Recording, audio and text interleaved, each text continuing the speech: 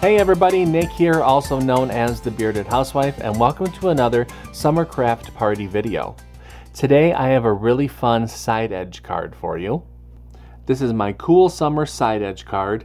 Isn't that just so adorable? I love that super cool penguin, that fun little sentiment there at the top. Of course, it opens up and you see that pretty pattern paper, and then the messaging panel is on the back. Of course, I include an envelope as well. This one is so fun to put together and I can't wait to show it to you. So let's grab our materials and get started.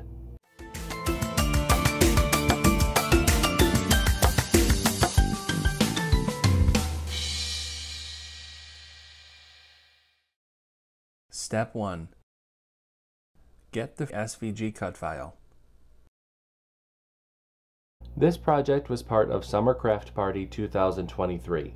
To get the cut file for this project, you can purchase the VIP Access Pass that includes instant lifetime access to the entire 12-day event, plus bonus cut files, printable worksheets, and commercial licensing. Get more information on the VIP Access Pass at thebeardedhousewife.com slash scp23.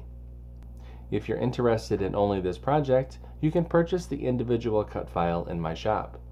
I have links to both options in the description box below.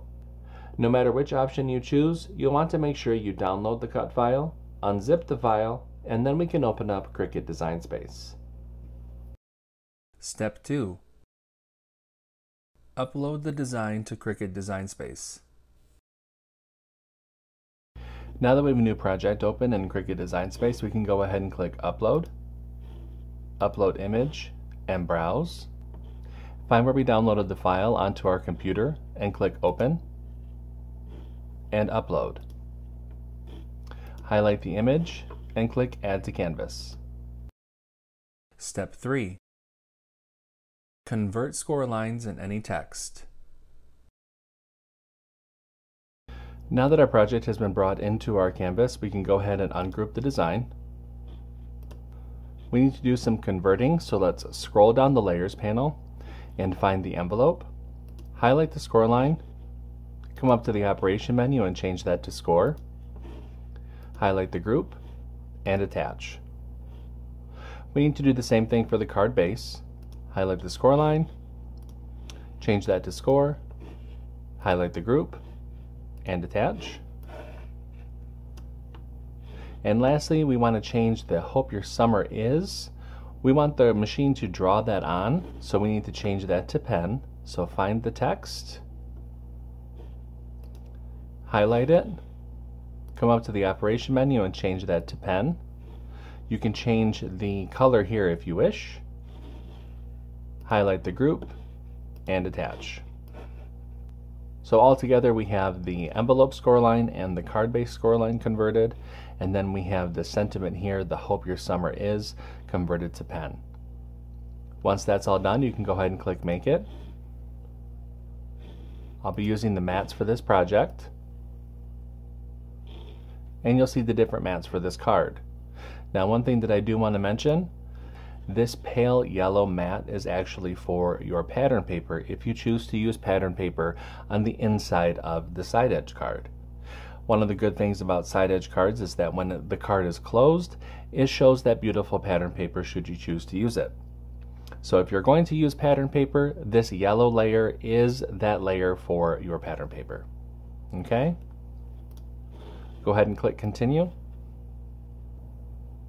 I'll be using medium cardstock for this project. I'll go ahead and get everything cut out and I'll see you when it's time to assemble. Step 4. Cut out the design.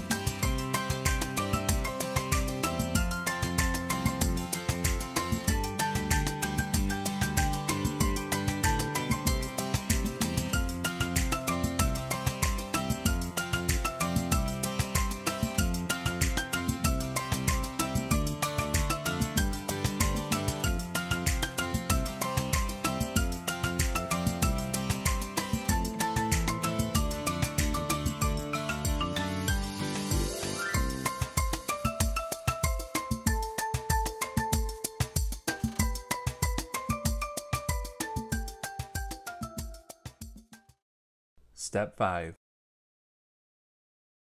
Assemble your card.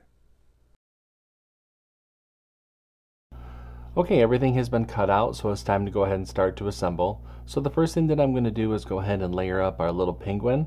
I do have a layering guide within the download that will help visualize how to layer everything together, so I would refer you to that. I'm going to go ahead and speed up the video just a little bit while I assemble him, and I will show you what it looks like when I'm done.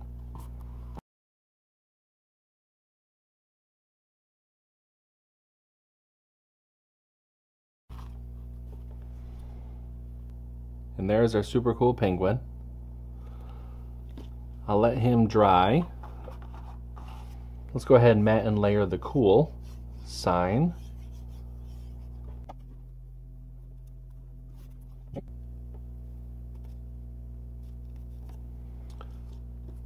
Let that dry. Now we can go ahead and mat and layer our messaging panel and then our inside cover panel. I chose this pink polka dotted paper that I have because I actually have a summer shirt that's in that color.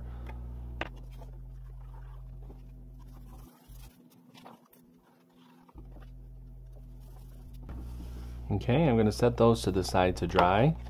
We can take our card base, go ahead and fold and burnish along that score line.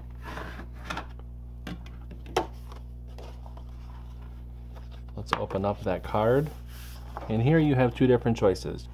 You can either add the inside cover panel and that will add a little pop of color and pattern paper once the card is closed, or you can put the messaging panel inside.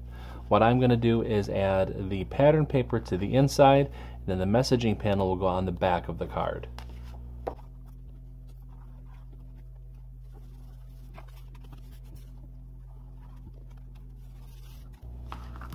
Okay. Now we can add our front cover panel to the front of the card.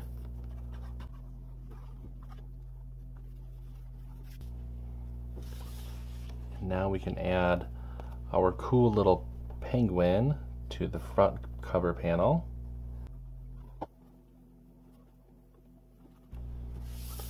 And lastly, our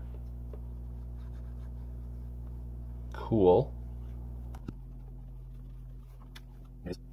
our cool penguin side edge card. Isn't that neat? I just love that penguin. He's so neat.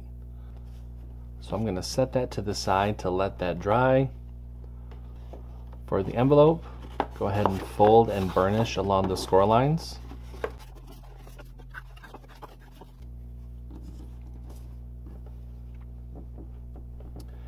Add your glue along the outer edge of that inlay panel.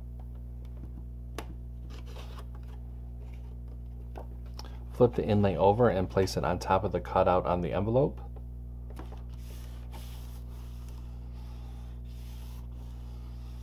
Spin the envelope around. Let's go ahead and place the card inside the envelope and then bring those side flaps in. The reason I'm doing that is because that penguin is a little bit on the thicker side so you just want to make sure that you have enough space there for the card to clear. Go ahead and bring the bottom flaps up and press. You can see that pocket there, and that forms the envelope.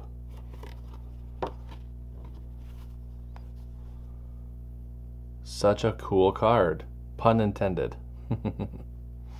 Wasn't this one so fun? Like I said, I love that little penguin. He just is so cool with those sunglasses on, just ready for a good time. I hope that you like this.